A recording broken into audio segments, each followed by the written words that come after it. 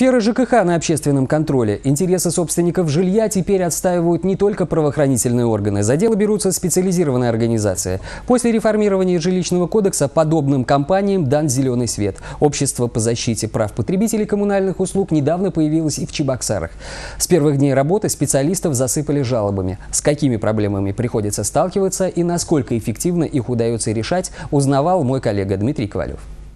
Квартира пенсионерки Анастасии Спиридоновой каждый год страдает от обильных осадков. После дождей в комнатах настоящий потоп. Проблема известна многим жильцам. В стенах дома образовались трещины. Когда управляющую компанию завалили жалобами, ремонт был проведен. Но компенсировать ущерб коммунальщики не торопятся. Взыскать деньги Анастасии Николаевне помогают общественники. Недавно они обратились в суд.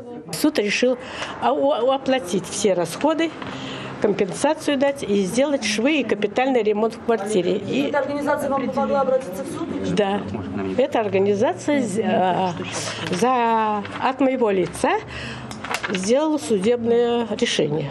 На сегодняшний день у нас еще пока это определение не исполнено, то есть э, дело, вот это дело у нас закончилось мировым соглашением.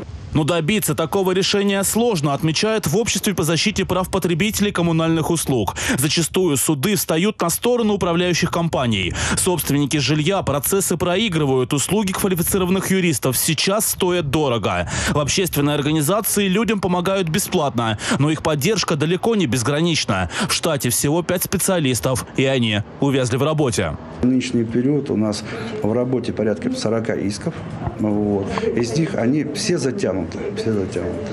А, причина? Причина в основном то, что а, а, больше всего почему-то наши судьи поддерживают управляющие компании, а не собственников, которые имеют полный пакет документов и э, с причиненными ущербами.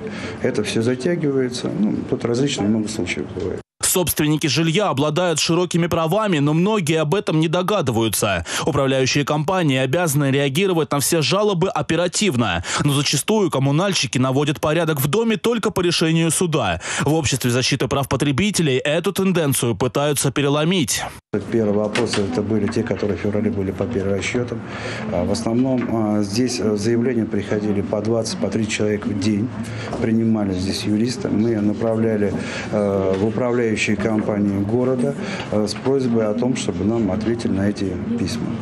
Чебоксарах права потребителей в сфере ЖКХ отстаивают две общественные организации. Столичные власти в подобных компаниях заинтересованы. По сути, именно они становятся посредниками и миротворцами в непростых жилищных отношениях. Именно через общественные данные объединения у нас как раз и проводить данную работу. В первую очередь, это, конечно же, жилищное просвещение наших граждан.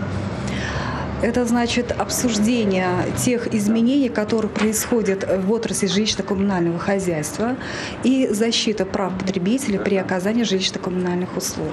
Последнее время на сторону общественников встает прокуратура и жилищная инспекция. В судах удается решать самые сложные случаи. Но делу специалистов организации всегда будет не в проворот. В сфере ЖКХ проблемных вопросов много, и желающих нажиться на средствах жильцов меньше не становится. Обращаться в общественную организацию люди стали чаще, и уже сейчас назрела необходимость в открытии районных филиалов. Они появятся там, где проблемы в сфере ЖКХ не решаются годами и множатся как снежный ком. Первые филиалы откроются в Канаше и Шумерле. Дмитрий Ковалев и Евгений Анисимов. Республика.